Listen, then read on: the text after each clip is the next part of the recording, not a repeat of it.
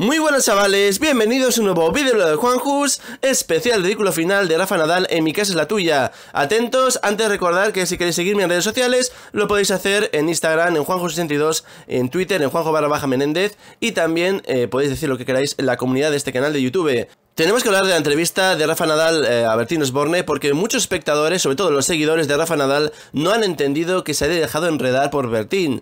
Porque el programa de Bertín ahora mismo es casi de frikis, ¿no? De personajillos de bajo nivel, sobre todo del mundo de Mediaset, para un público determinado. No tiene ya nada que ver con cuando el programa se llamaba En la tuya y en la mía en televisión española cuando los entrevistados eran de alto caché, ¿no? De, prestigio, diríamos. Que eran personas que apenas eh, habíamos visto eh, entrevistas de ellos. Y Rafa Nadal vuelve un poco a esa etapa. Por cierto, ha funcionado en audiencias con un 16%. Pero es verdad que no, no encaja ya porque el programa de Bertín se ha vuelto otra cosa. Se ha vuelto algo muy poco serio, ¿no? Y piensan que incluso mucha gente puede señalarle eh, por la ideología incluso, ¿no?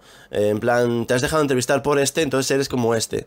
Yo no me meto, yo creo que realmente todo el mundo puede hablar con cualquiera y entiendo la polémica porque Bertín Osborne ha jugado todos los bandos y llega un momento que se le ve un poco el plumero, podríamos decir, pero lo importante es que ha funcionado en audiencias con un 16% de cuota y eh, los titulares que ha dado, que han sido bastantes, ¿no? Por ejemplo, el estar encerrado en casa eh, le ha fastidiado el pie bastante. Eh, dice que le han mejorado las rodillas, pero su pie casi no lo podía mover de los dolores y que le costó mucho volver a jugar.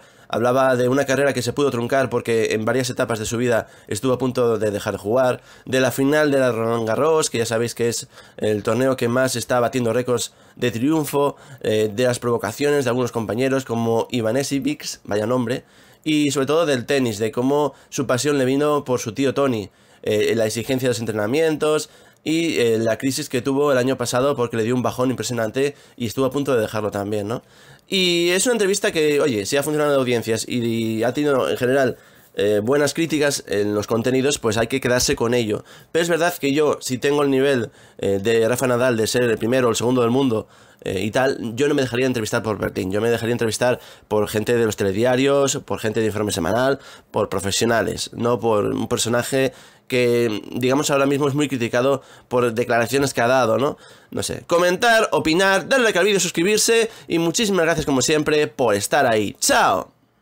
Si te ha gustado este vídeo, dale a like y suscríbete con campana para más noticias. Y si quieres conocerme, visita también mis vídeos diarios. Tienes cadena Juanjo Blog para más información de la forma más amena. ¡Nos vemos!